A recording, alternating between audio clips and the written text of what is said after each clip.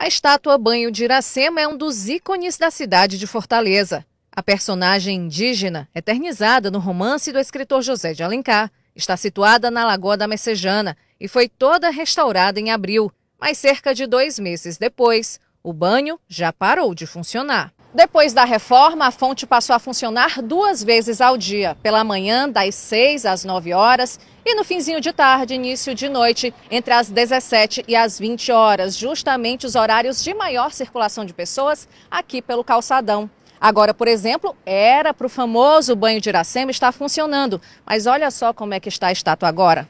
Não deixa de ser bonita, mas perde aquele brilho a mais. Parece que é a segunda vez já que roubam e a bomba que joga água lá em cima, vandalismo. Tem muitos usuários de droga aqui ao, redor. A reforma ficou muito boa. Agora está questão de segurança aqui para que venha melhorar. Não venha mais roubar mais a, a bomba que joga água ali da, da, da Iracema. Acho que precisa de um trabalho mais minucioso em relação a isso. O que, que acontece? Essas pessoas que ficam é, andando à noite, né? Eles tiram. É colocando aí o banho da Índia, aí vem um e tira.